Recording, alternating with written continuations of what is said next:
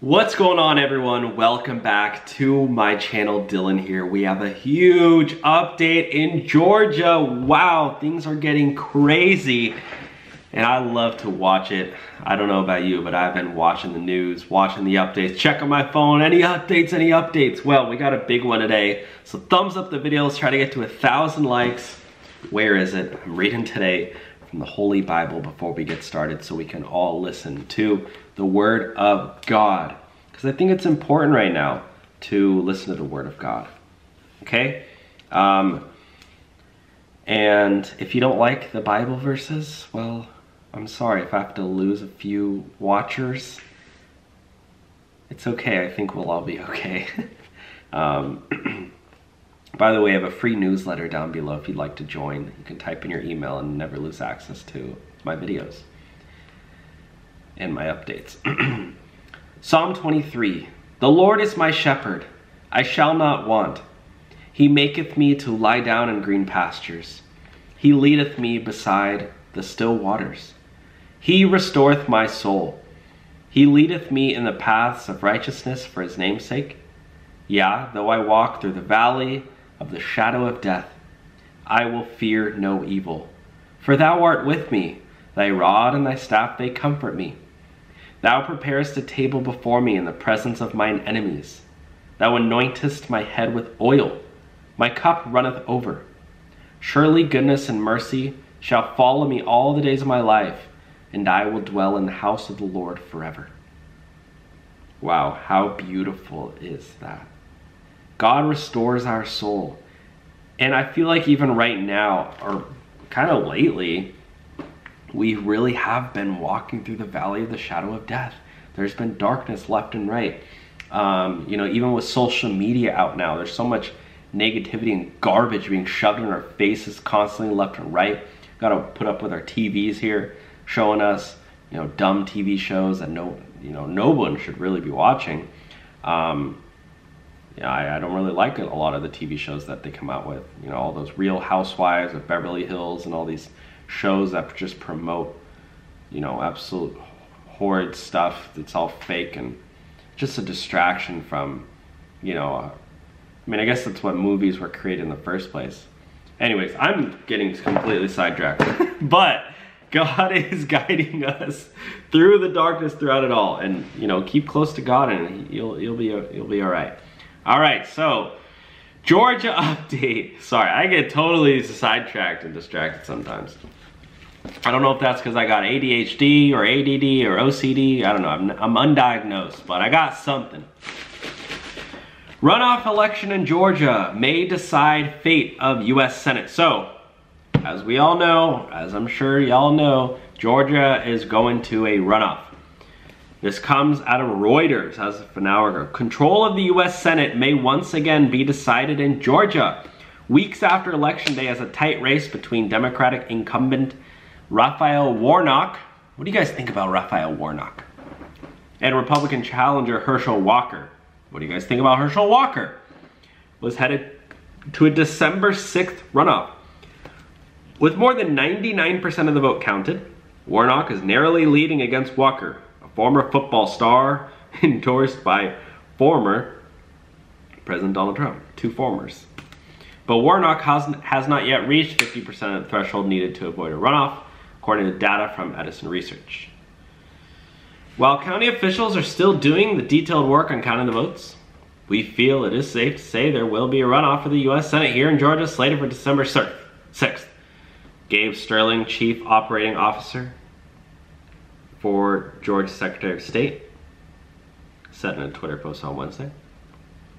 Third candidate, Libertarian Chase Oliver, siphoned off 2% of the vote. So, uh, I mean, I guess if you need 50%, I mean, that's 2% that kind of took away from both, both people. It makes sense. Warnock, a pastor at Ebenezer Baptist Church. Oh, wow, I didn't know that. Warnock is a pastor at a Baptist church. Interesting. Very interesting. I thought, I thought Baptist people were generally, generally um, not Democrat, but maybe not. I mean, isn't Joe Biden Catholic? I just realized that. Like Joe Biden and the Pope, isn't there like a photo of them hanging out? I don't know.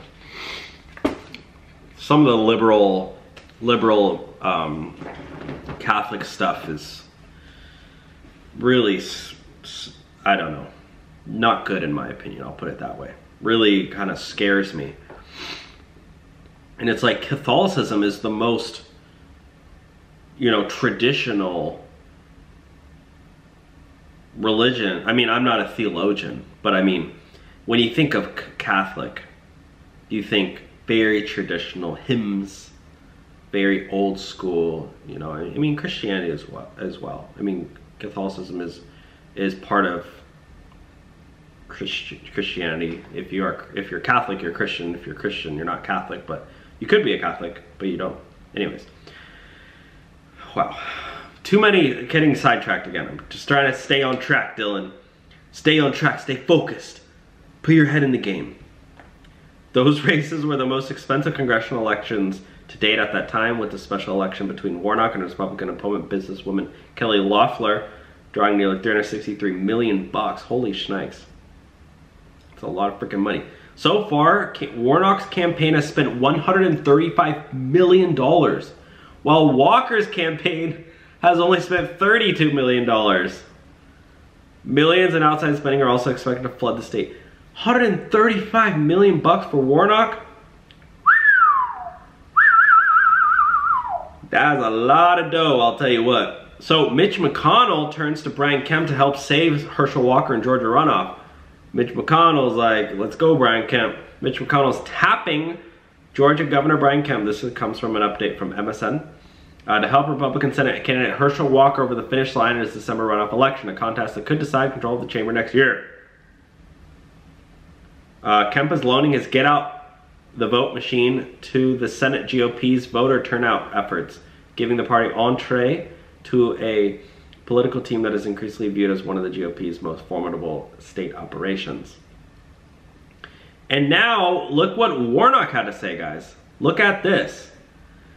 Warnock campaign lays out strategy for Georgia Senate, Senate runoff, calling Walker completely unqualified. In a new memo, campaign manager Quentin Fulks projected confidence that the Democratic senator would win a six-year term, labeling him a proven vote getter.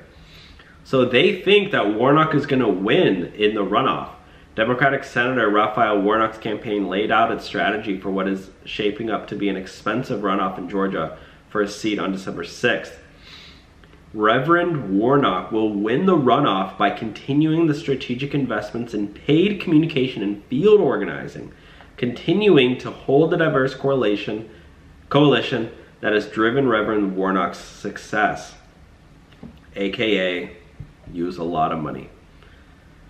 So, anyways, I'm gonna end the video there, but that is the big update. And also guys, um, quick update, we have a channel sponsor now, so if any of you guys are looking to retire or if you wanna get it set up with a retirement account, if that's been on your heart, if God's been nudging you to, you know, take control of your finances, uh, there's an opportunity now. We have a link below. And when you use that link, guys, you're actually going to potentially get, well, you could get a free account if you qualify, but you're also going to get access to a free consultation with a retirement expert. This is a limited time just for you guys. So check the link out below. Thanks for watching, guys. Please thumbs up the video. And before you go to sleep tonight, read a little bit. Read a little bit of the Bible. And when you wake up in the morning, read it again. And in the afternoon and the evening, just read one line, two lines. You know, that's, God doesn't really ask, I mean, God does ask, try to say God doesn't ask a lot of us, but I feel like he asks us to, I don't know. What I'm trying to say is it, you don't need to, you know, read the whole thing. You can just read a line here or there.